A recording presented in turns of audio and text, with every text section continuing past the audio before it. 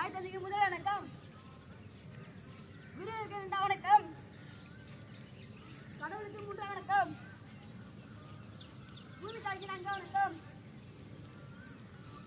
சபை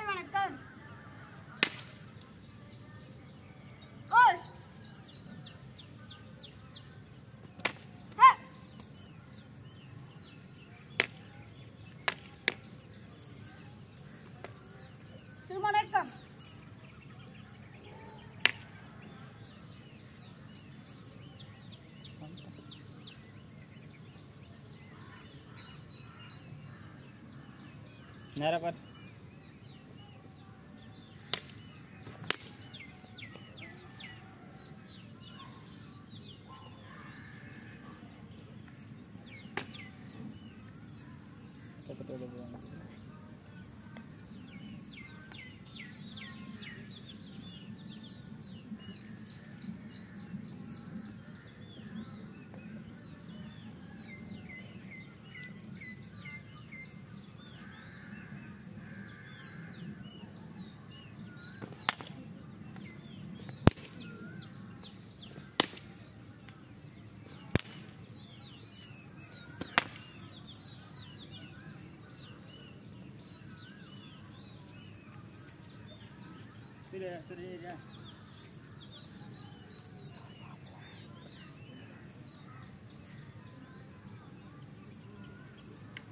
Pídete.